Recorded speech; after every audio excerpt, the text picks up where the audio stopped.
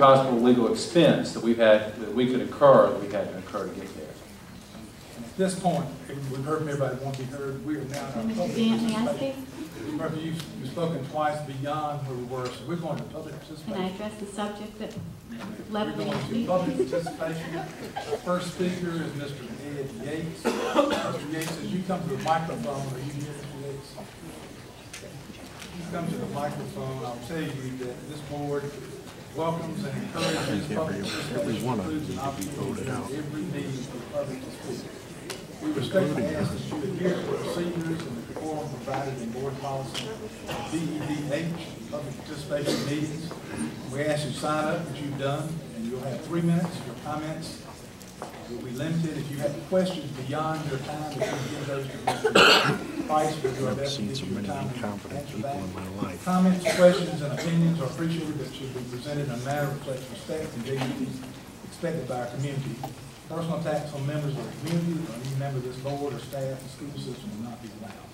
With that, I'll ask you to address the board and to uh, make your.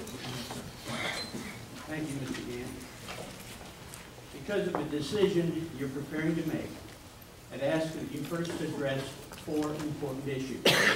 Thank you for allowing me to read this letter from a group concerned citizens. First, despite the fact that the people were promised Chapin High School would be expanded, it is widely known that the plan has been cut back. Chapin now is going to be a quote, unquote, renovated but not expanded school. Many people believe the reason Chapin High is not being expanded is because increasing the number of classrooms to what was promised would provide abundant classroom space and new schools would not then be needed. Excuse me. One member of the school board has tried to have this matter discussed in public. She has been detailed on how the Chapin plan won't expand, expand the school. On two occasions, she has tried to have this documentation included in the board meeting minutes, which is the prerogative of any school board member, so the public can see the expansion promised is not what Chapin is getting. But the board officers have refused to allow these documents, which clearly show this, into the minutes. Before you take the vote, please state why her documents have not been included in the meeting minutes or even discussed in public. Secondly, please don't vote on this cutback plan before the public review and until her documents are permitted to be discussed at a public board meeting. Also, the board is on track to award a Chinese construction company a $43 million contract for Chapin High School tonight. But what's puzzling is that this bid is $13 million more than the estimate given to the contractors just one month ago at the district's pre-bid, bid- pre-bid meeting. I know this because I was at the pre-bid meeting. In fact, according to the pre-bid mi- minutes, contractors were told the current estimate for the ex- uh, expenditures at Chapin High School would be in the range of 30 to 32 million dollars. Yeah, But lower more money to responsive bids would definitely be reviewed. How can District Five be forty-four percent off their estimate in just a matter of a few weeks? Also, citizens have been repeatedly, repeatedly, repeatedly asking about a check written by District Five for nearly six hundred thousand dollars for the wetlands mitigation issue. Though the check was returned and the new check was issued, the district has suggested that- that it was meaningless. The district has also said that there is not a wetlands issue. Mr. Yates, will you wrap up? That was your time. Yes, I just said five more lines.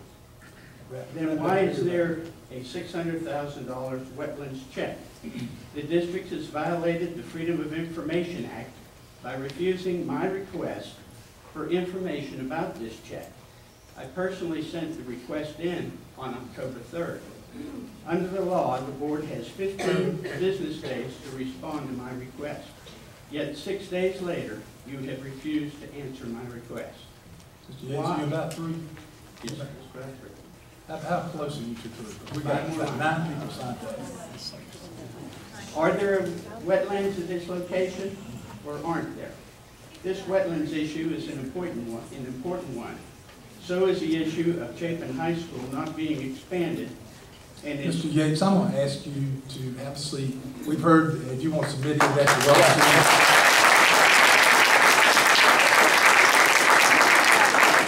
Thank you for your input. I hope you'll stick around because a lot of what you said I've resisted is totally erroneous about a cutback on the size, and that we won't be voting on a cutback scale of what's gonna go on.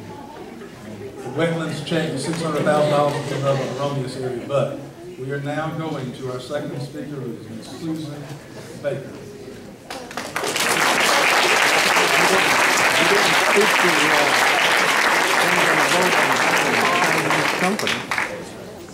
instead of putting our own people to work. Good evening, board members, Dr. Hefner, staff, and fellow citizens. As the SIC chair for Chapin High School over the past two years, I wish to give a reflection on some of my experiences um, in the hopes of giving an ongoing picture of, of how to do harm. How do I hate you? Let me count the ways. I file numerous appeals to agencies and courts to thwart the board, the staff, and the will of the community. I contact newspapers and use citizens to agitate and spread half-truths. I personally try to disrupt cause disagreement amongst the board and citizenry. I publicly call out our school administrative officers as liars. I approach citizens and landowners to give out false information. I make assumptions and I don't check my facts. I file a motion to get a stay on Chapin High School for a sewer line. I don't work with other members in any constructive fashion. I contact media to start rumors of removing the Pledge of Allegiance or stopping the scouting program inside of the schools. I force delays at every turn, and I use every legal means possible. I spend all of my time and efforts to create conflict and hardship. I challenge every document and every goal of the board. I promote distrust and disbelief within the community. I want everyone to believe I'm right at all costs. Chairman I don't care how long how much money it takes for my agenda. I trust spreading hate. nobody but myself, and That's I wrong. attack if I disagree. These kind of actions are destructive, and they're in opposition to the oath of the office taken, the opportunity to be a part of a district that's top in the state, and to share in its future. Uh, we have such an opportunity to be positive and have a positive sense of goodwill. This is simply not there. No one is enjoying this kind of Hatfield McCoy type of feuding. It's expensive, unnecessary, it hurts us all in the long run. We have children to teach, citizens to develop, and a future that's ours. For the sake of our district and our community, I pray that these hurtful actions and maneuvers would stop. One would think, am I for us or against us? My second point regards the financial affairs. Last month, Dr. Fulmer gave us a guide to analyze our new transparent checkbook online. I think it's imperative to point out that he's experienced, he's full of integrity, and he is ready to answer our questions. It's hurtful to say that he's dishonest or untrustworthy. Key points. We've had a full audit done by our outside, very large accounting firm of Derrick Stubbs and Stith. They look over our financial record keeping. They audit many thousands of transactions in the different accounts at our different schools. Review the staff and the practices they do. Did we not obtain the highest rating for bond purposes? Wasn't it the top? Are we not one of the top schools in the state that managed to survive this terrible economic downturn and we're still in shape?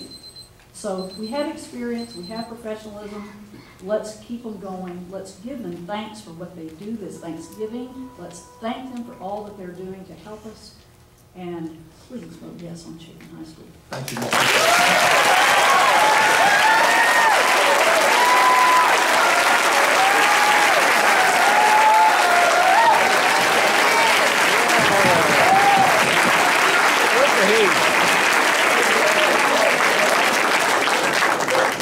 Next here from Mr. Bart Teal,